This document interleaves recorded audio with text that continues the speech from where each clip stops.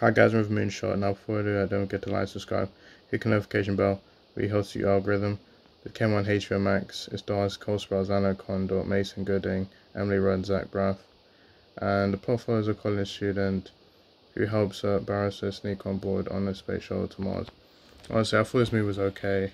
Um, like Cole Sprouse and Icon, I like the chemistry between them.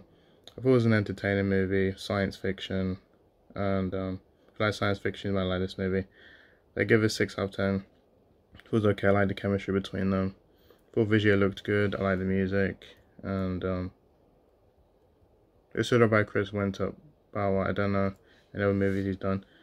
And yeah, I thought it was an okay movie, um, like science fiction, like romantic, like like this movie, and um, this was released on HBO Max.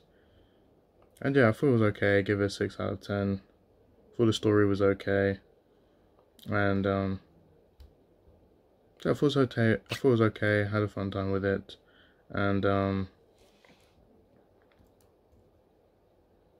but it wasn't. It was a good um movie. It was okay, and yes, that's Moonshot. I thought it was okay movie. Had a fun time with it. Would I watch it again? Maybe not. I thought it was just okay. I like the cast, and um, yeah, I thought the story was okay. So yeah, I give it a six out of ten. I enjoyed it. You should check it out. Um, so yeah, I give it six out of ten. Moonshot, I really liked it, and um, yeah, I really liked it. Thought it was um, it was okay, and um, I like the cast. I thought it was great. I thought the story was great. Um,